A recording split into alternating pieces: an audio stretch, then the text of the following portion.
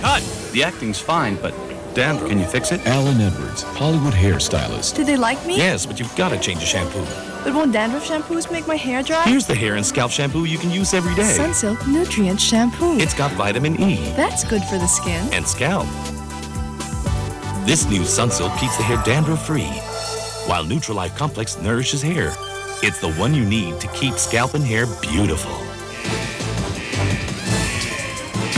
It's over. Good taste. Still can't believe I got the part. It's your hair. Five months and still no dandruff. It just keeps getting better. It's the nutrients and vitamin E only from Sunsilk Hair and Scalp Care Shampoo.